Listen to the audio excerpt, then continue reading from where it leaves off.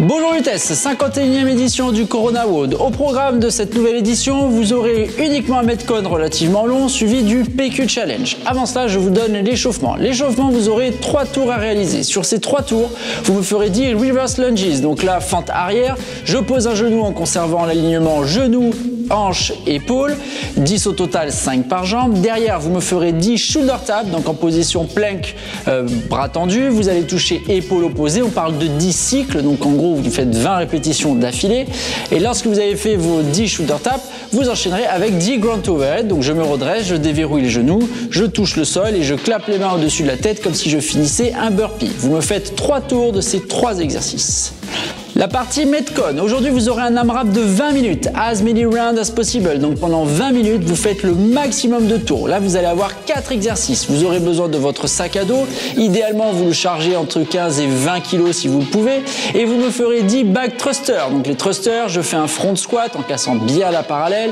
Je fais une extension de hanche et au moment où je fais l'extension, j'accélère pour verrouiller, pousser le sac au-dessus de ma tête. Vous me faites 10 répétitions. Derrière, vous enchaînerez avec 10 athletic burpees donc des burpees mais sans amener hanche poitrine au sol. Je ramène les pieds, je clappe les mains au-dessus de la tête lorsque je me redresse, vous connaissez. Et derrière, vous allez enchaîner avec 10 overhead lunges. Donc là, le sac, on le met au-dessus de la tête. Je fais des fentes vers l'avant, un coup à droite, un coup à gauche, 10 au total. Et vous finirez un quatrième exercice avec des back rows, donc bent over rows. Donc là, vous déverrouillez les genoux, vous vous penchez vers l'avant en gardant le dos droit et vous tirez pour pouvoir amener le sac au niveau du nombril. Vous me faites un maximum de tours de ces quatre exercices pendant 20 minutes.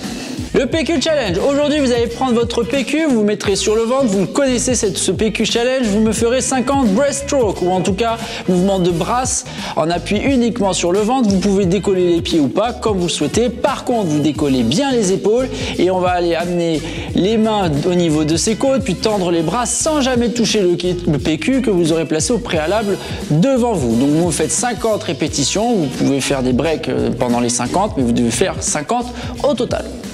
Voilà pour ce 51e euh, Corona Wood. N'oubliez pas de marquer votre score dans le leaderboard. Lien dans la description de la vidéo, donc le nombre maximum de tours euh, sur la map de 20 minutes.